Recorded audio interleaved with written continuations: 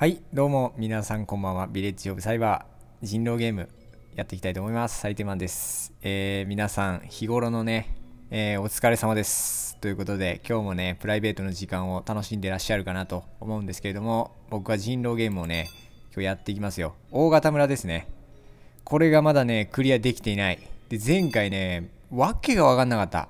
もうあの背徳者が占い師に名乗り出てたりとか、人狼が潜伏してる人狼がやったら多かったりとかね。で初日に噛まれた人が実は占い師だったんじゃみたいなこういうなんか推理も進めないといけないみたいなんでかなり難しかったです。もうこれねクリアできる気がぶっちゃけしてないんですが行こう。クリアする。必ず。神父クレメンスは無残な姿で発見されました。え皆さんもね良ければ一緒に考えながらやってもらえたらなと思います。僕はじっくり時間をかけながら、えー状況等を、えー説明とかね、えーそういうのを入れつつ自分もね状況整理しながらやっていきますので、え一緒に、え推理してもらえたらなと思います。占いカミングアウトヘルムートはしろよ。私の子供なんだから当然ね。これなんか怪しくない？私の子供なんだから当然ねって自分の子供にさあの黒って出てもさ白って言うんじゃないの？これ。俺が親だったら絶対黒って出ても白って言うけどね。怪しいな貴婦人。まあこういう裏設定挟んでもしょうがないですけどね。てか親子だったんだこれ。何を心配してるんだ今まあ。占うまでもないじゃないか。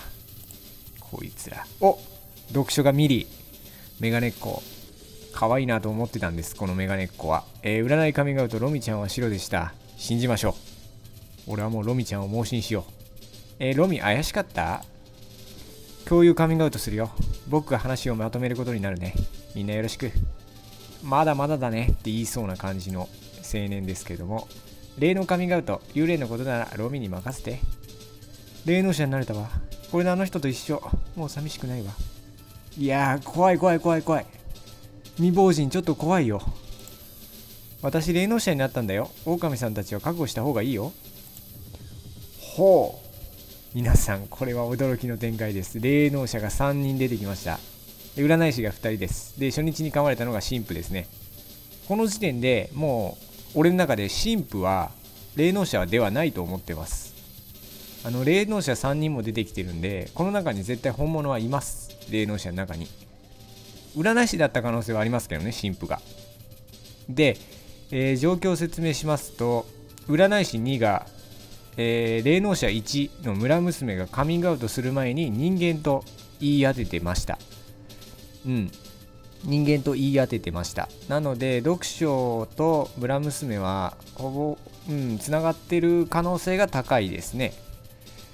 はい。えーと状況がね共有者が1人出てきたということなんですけども初日はねできるだけあの投票先とかそういうのを見たいのでグレランをしたいなと思ってるんですけれどもグレランので危ないのが狩人と猫股を釣っちゃう可能性があるんですね。グレランをすると。なんで投票先とかを洗えるっていう材料は増えるんですけれども狩人と猫股がカミングアウトするタイミングを与えずに釣っちゃうことになっちゃうのでその辺はリスクはあります。うんだからどうしようかなと。でも初日から指定投票でやっていけばその辺のなんか誰が誰に投票したみたいなそういう材料が全く得られなくなるのでそういうデメリットはあるんですけどカミングアウトするタイミングを与えるっていうメリットがあります。僕が指定した例えば宿主が人狼だと思って指定したら宿主が狩人だったらタイミングよく出るタイミングを与えてあげることができるんですね。でも自由投票にここでするとあのそれができなくなってしまうっていうデメリットがあるんですけどうーんどうしようかな。正直霊能者もね占い師もどっちが本物かっていうのがわからないんですけどとりあえず、えー読書占い師2の読書を、えー狩人に守らせるように指示します、まあ、これは早めにやった方がいいと思ってます。指定護衛で占い師2ですね。占い師1と占い師2の差はほとんどないんですけど霊能者1を人間と言っているのでまだ可能性的に本物の可能性が高いかなと思うので読書2をえ護衛させます。で投票なんですけれどもこれはもうグレランします。グレランします。投票先見たいんで、えー、4票で物売りが処刑されましたね。結構分かれたな。この投票先とかが後々の何て言うんですか材料になってきますね。あのここの場面で今これこれが村の決定会まあ仕方ないねって言ってるこの場面でこの人が狩人だったとしてもカミングアウトするってことができないんですね。このゲーム。できないルールになっているのでヨハナばあちゃんが狩人だった可能性がもしかしたら。お村娘ロミは狐の後を追って自ら白を選びはい。えっとロミちゃんが整理しますとロミちゃんが背徳者です。でばあさん物売りのばあさんが陽子だったんですよ。なので後を追ったんですね。これは大きいね。背徳者が霊能者に出てたんですね。はいありがとうございます。陽子を倒せました。初日あの自由投票っていうかグレランですね。グレランでの末陽子を倒せました。これはでかい。勝ちたいねこれ。3日目、えー、貴婦人オクタビアは無残な姿で発見されました。守ってない方の占い師噛まれましたね。ミスったな。貴婦人の方を護衛回してたら今護衛成功出てましたね。そうか俺読書家に護衛を回したんですね。今。読書家に護衛を回しちゃったんで貴婦人に護衛を今のターン回していれば守り成功が出てました。俺占い師神に来るかなと思ってたんでどっちか迷ってたんですけどハイリンさんは白でしたかえー、霊能カミングアウトヨハナさんは人間だったわまあこれ陽子ですねヨハナさんはここで人狼っていうやつ偽物ですよ。えっ、ー、と、占い師1が早速噛まれました。で、おそらく占い師1はね、本物だと思います。おそらく。うん、本物だと思います。でだ、占い師、占いの結果がもうほぼほぼ出せない状態に今なってます。だから読書が多分偽物なんですよ。この状況。多分ね。多分読書が偽物なんで読書をここで釣って色を見るか、えー、他の全く関係ないところを釣って色をあの見るかっていうことになってきますね。どうしようか。初日0票だった人ちょっと見ましょう初日0票だった人が怪しくなってきますまあ、青年は共有者なんで0票かで。いっぱい投票が入ったのが刺繍と甘蔵物売りね。刺繍は刺繍は何にも言われてない。占い師が噛まれたんで、陽子を潰せてるとはいえ、ぶっちゃけ今ね、あんまり現状としては良くない。占われてない人間が多すぎて、もう投票先とかで推理していくしかないんですね、現状。これまたグレランかな？またグレランします。で俺投票先のあれを見ます。で終盤あたりになった時にそれを材料に推理を進めていきたいなと思ってます。うんまたグレランにしようここは。ちょっとね材料が欲しいんですよ。推理を進めていく上の材料が。なのでグレランするか今の選択肢として取れるのはグレランをするか占い師2の読書をするかっていう選択肢になってきますが読書占いにはまだ切れる段階じゃないのでグレランにします。アマゾーさんが処刑されたと。刺繍とアマゾーがね異常に票集まってるんですよ。だからほぼほぼ人間なんじゃないかなと思ってます刺繍と、えー、この人シスターナターリエさんは。うんだから異常にねみんな投票したがってるんでで人狼って今4匹いるんですよ。で共振者も含めれば5人いるんですね。だから5票を持ってるんですよ人狼側は。だから票がほとんど集まりにくいんですね人狼側の人って、えー、音楽家ヘルムートは無残な姿で発見されたと。洗濯女クロエは無残な姿で発見されました。猫股か。待って猫股ですね陽子もういないんでどっちかが猫股でした。で、占いカミングアウト、ヘルムートさんは白でした。まあ、十中八九、狐でしょ。狐はないない。狐はないんだよ、読書か。えー、ナターリーは人間だったわ。えー、ナターリーさんは白だったよと。まあ、そうだよね。あんなに票集まったらね。えっと状況を整理しますと音楽と選択ねで音楽と選択のどっちかが猫股です。というかまあ音楽が猫股でしょうね。音楽が猫股です。で猫股を選択人狼である選択が噛んだんですよ。で読書2がおかしなことを言ってるんですね。おそらく狐でしょうねみたいなことを言っているんですけど初日えっとね狐も後を追うように命を落としたみたいなのが出てるんですよ。だから読書に言ってることはおかしいんですねこれ。狐がありえないんですよ。音楽は猫股なんです。で選択が人狼なんですね。だから読書は偽物なんですよ。ほぼほぼ。言ってることはおかしいので。でもワンチャンえー、っとね本物の可能性もなくはないんですよ。なんかおかしなことを言っている本物。の預言者っていう可能性もなくはないので一応このターンは残すんですけどまあ読書つってもいいけどね。で一番今俺の中で重要すごいすごいいい材料だなと思っているのが僕は今ここまでグレランを 2, 2日連続してこれてるんですね。で投票先誰が誰に投票したかっていうのがえー、今2日分持ってるんですよ。で選択が人狼が確定したんで選択の人狼が確定したんですよ。なので選択が投票した先はあのー、人間です。ということになります、えー、選択が1日目に投票したのがアマゾー人間ですこれ。でえー、っとね次に2日目選択が投票してるのが刺繍。刺繍人間です。刺繍さんは人間です。これ確定しました。で選択に投票している人。選択に投票している人も、えー、人間です。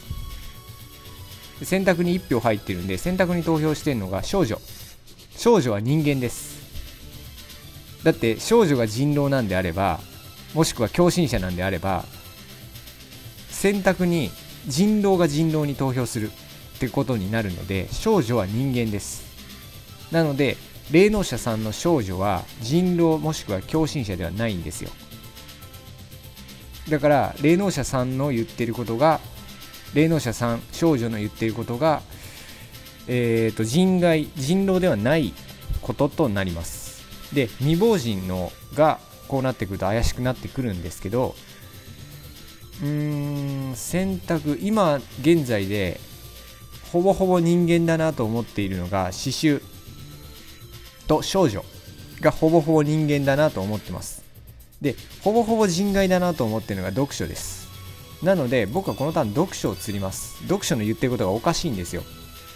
さっきほぼ用語でしょうねとか。であと占い師の片方が噛まれているにもかかわらず読書がいつまでも残ってるんですね。これもおかしいんですよ。なんで本物の占い師なんであれば神に来ないのかっていう話なんですよ。だから読書を釣ります。で読書を釣ってみてえっとね刺繍が噛まれそうな気がするんですけどいや俺これね少女に指定護衛で防御に入ります。少女は多分本物の霊能者だと思うからです。少女を護衛して、えー、支持する指定投票で占読書占い師2の読書を釣ります。占い師2の読書を釣ってみて霊能の結果を見ます。読書を人狼っていうか人間っていうかっていう結果を見ます。読書はほぼほぼ俺は人狼だと思ってるからですね。はい読書を釣ります。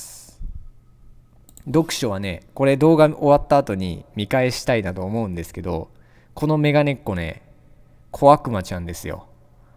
ええ人外です。俺は偽物だと思ってます。さっきの占い結果で、おそらく狐でしょうねって発言はおかしいです。初日に狐を後を追うように死んでる人間がいるのに、それ発言はおかしいんですよ。で、共有者のアーベルが噛まれたと。えー、アーベル、私がもう一人の共有者だ。剣士。なるほどね。ミリーは人間だったわ。ミリーお姉ちゃんは黒。狼さんだったよ。はいはいはいはいえ霊能の結果が分かれましたこれでますます、えー、霊能者3の少女が本物説っていうのが浮上してきますさらに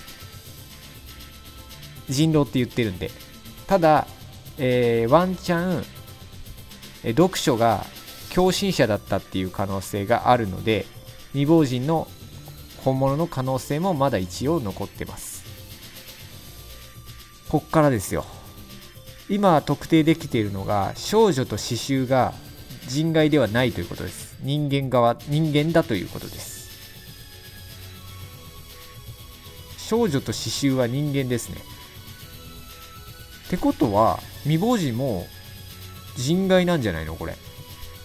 なんで俺が少女を人間だって言ってるのかっていうと投票してるんですね人狼が。えっと少女少女が選択に投票してるんですよ。で選択って人狼なんですよ。だから少女本物なんですねこれ。なんで僕はこう霊能者の一人である未亡人切ります。未亡人は多分偽物だと思うからですね。で今人狼は多分2人連れてます。少女は本物ではないと思います。本物ではないよね。だって選択に投票してるんですよ。選択は人狼なんですよ。うん。少女は本物ですわ。で護衛がえっ、とねさっきのターンは俺は少女を守れって言ったのか。少女このターンも守ってほしいけど連続護衛になるから守れない説があるのか。さっきのターン俺少女守れって言ってますもんね。なんでこのターン少女には生き残ってほしい。えー、未亡人釣ります。未亡人は人外です。狩人カミングアウトさせてもいいんですけどね。待って。俺これ猫股カミングアウトさせますわ。いないよね。それはいないよね。カミングアウトするやつ釣ろうと思ってたんですよ。猫股もういないんで。まあ無理か。で、指定投票で、えー、未亡人、霊能者2の未亡人を釣ります。この人はね、偽物です。少女が選択に投票してるんで、少女は人間側なんですよ。まあ、身内切ったっていう可能性はなきにしもあらずですけどね。身内を切って人狼が人狼に投票したっていう可能性もなきにしもあらずですけど、そんなんやってこないだろうと思うんですよねあんな序盤で初日でやってきたらトリッキーすぎるよねお宿主風王が無残な姿で発見されたと。えノーラさんは白だったよ。ノーラが白って言ってるってことはノーラ共振者か。え未亡人ノーラ共振者って言ってるんですね少女は。なるほど。宿主が噛まれたと。なるほどね。で、いや、俺、未亡人側の立場に立ってみると、人狼今まだ1人しか連れてないんで、3人残ってて、共振者が1人いるんですね。っていう状況なんですね。だから次のターン間違うと、滅びる可能性がワンチャンありますが、うーん、刺繍はね、ずっと生き残ってるんですよ。だからカリルドだったら嫌なんですけどね、刺繍が。刺繍はね、人間なんですよ。で、少女も人間なんです。ただ、俺がそう言ってる理由っていうのが、人狼の選択に投票している、もしくは人狼の選択から投票されているという理由だけなんですけどね。で、ここまでなってくると、もうちょっと投票先洗います。でさっきのターン投票してるのは、教師が未亡人、おそらく共振者であろう未亡人に教師が投票されてるんですね。なんで教師は人狼の可能性が低いんじゃないかなと思います。で、4日目。えー、っと、読書が宿主に投票している。で、読書はほぼほぼ偽物です。で、その偽物の読書がさっき噛まれた宿主に投票している。これは占い師はほんほぼほぼね、読書は偽物だと思います。この結果から。なのでやっぱ材料になってくるのがここなんですね。刺繍がね、めっちゃ投票集められてるんですよ。うん、刺繍がね、すっごい投票集められてるんで、ちょっと疑い先も見ます。疑い先団長がすっごい疑われていると。えっとね団長は人間だと思います。なぜなら人狼がこの中に2人いるんですね。2人か3人いるんですよ。人狼が。なのに団長こんなにいっぱいいろんな人から疑われてるのはおかしいので団長は人間です。でここで人間だなと思ってくるのが団長教師刺繍。こいつらは人間っぽいんですよ。でそうなってくると旅人召使い探偵妖刀この中に人狼が2人いるというふうに考えられるんですが探偵だな。いや召使いでもいいな。旅人ですね。旅人誰からも疑われてないんですよ。おかしいですね。旅人を釣ります。誰からも疑われてないってことは人狼なんじゃないかな。うん誰からも疑われてないんだよな旅人が。不妙ですね。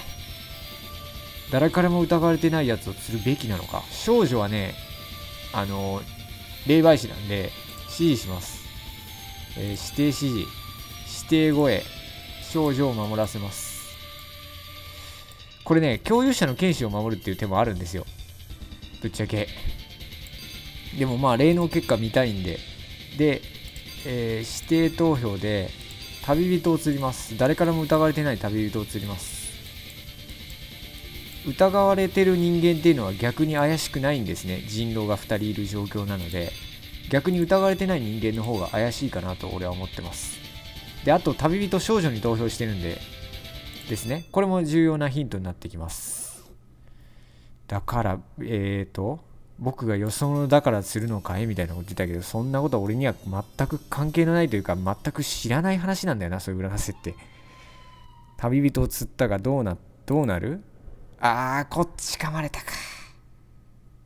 こっち噛んできたか。共有者噛んできたな。ハンスお兄さんは白だったよ。白だったか。共有者噛まれましたね。共有者が噛まれました。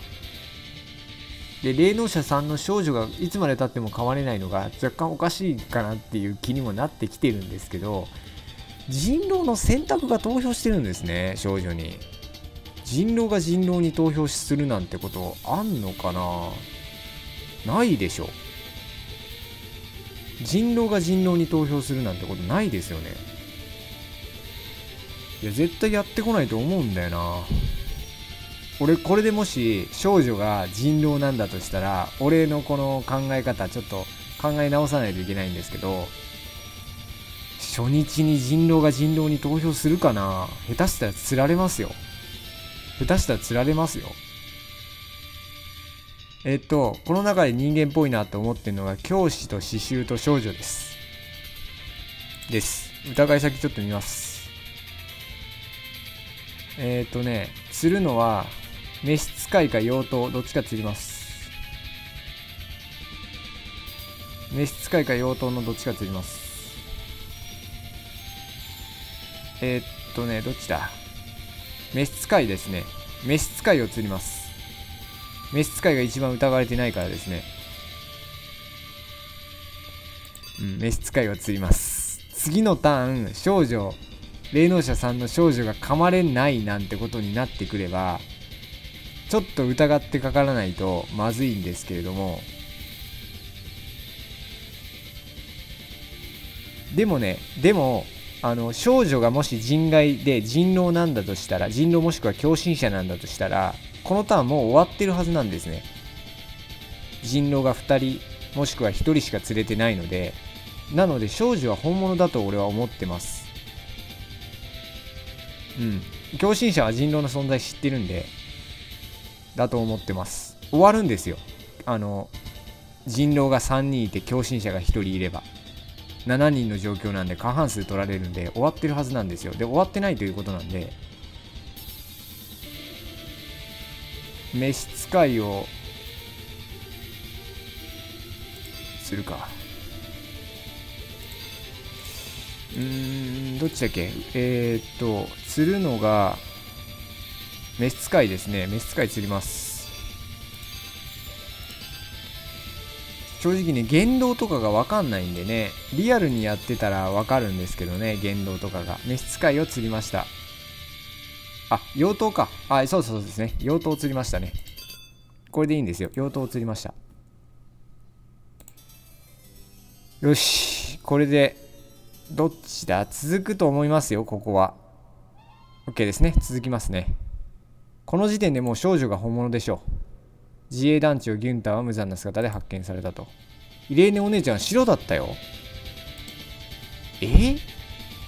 イレーネお姉ちゃん白だったよ。この中に人狼が2人います。この中に人狼が2人います。でえー、っと狩人いたらカミングアウトさせましょう。いない。狩人はいない。えっとね教師と刺繍は人間っぽいなと思ってるんで釣るのは召使い。いや探偵です。探偵を釣ります。探偵は偽物である占い師2に人間判定が出されているので探偵を釣ります。探偵を釣りましょう。なんでいつまでたっても霊能者さんの少女が噛まれないのかっていうのがすごい謎なんですけどね。うん探偵を釣ります。指示する指定投票。探偵。これで OK です。まだ続くと思いたい。探偵か召使いのどっちかが人狼なんでこれで1人は釣れたと思います。でラス1になると思うんですよ。OK ですね。続きますね。9日目になりましたと。召使いユーディとは無残な姿で発見された？ハインリヒさんは黒。狼さんだったよ。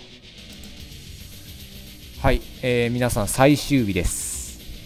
大型村の最終日になりました。これ泣いても笑ってもこのターン終わります。で少女が人狼の可能性はもうないです。もうないです。ありえないと思います。っていうかもうそこを追えないですね。なので教師か刺繍のどっちかが人狼です。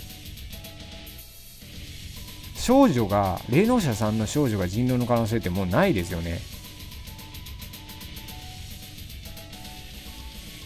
ないんですよ。絶対にないんですよ。数が合うんですよ。人狼ですって言ってる人の数とえ猫股で1人人狼持ってかれてるんでで選択が人狼なんですよ。で選択が少女に投票してるんで少女は本物です。本物の霊能者です。で教師と刺繍のどっちかが人狼なんですね。この状況になってくると。さっきのターン召使いを噛んでくれたのはかなりでかいですね。召使い疑ってたんで。ちょっと投票先疑い先見よう。疑われてるのは刺繍か。刺繍が少女と教師に疑われていると。で刺繍だけ少女を疑っていると。はあはあはあはあ。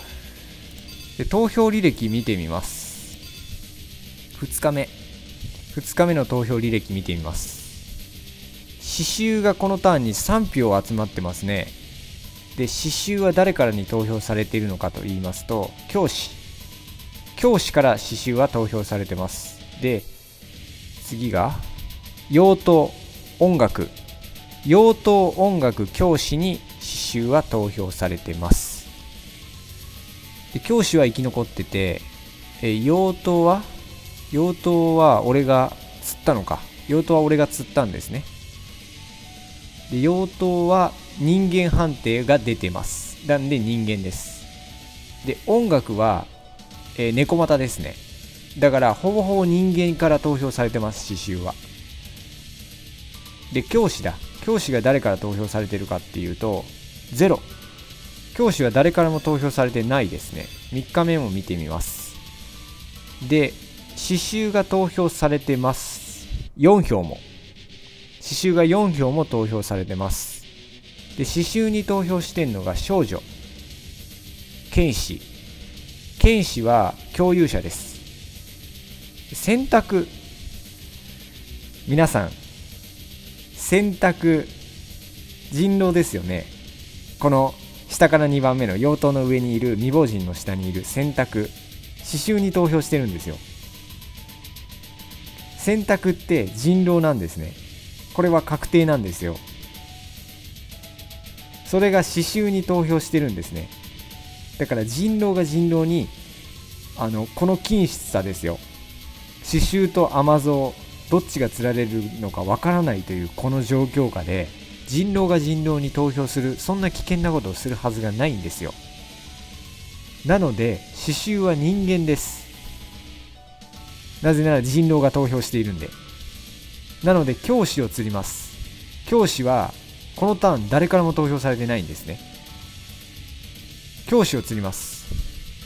でそうなってくるとそうなってくると5日目に未亡人が教師に投票してるのはこれはね身内切りです。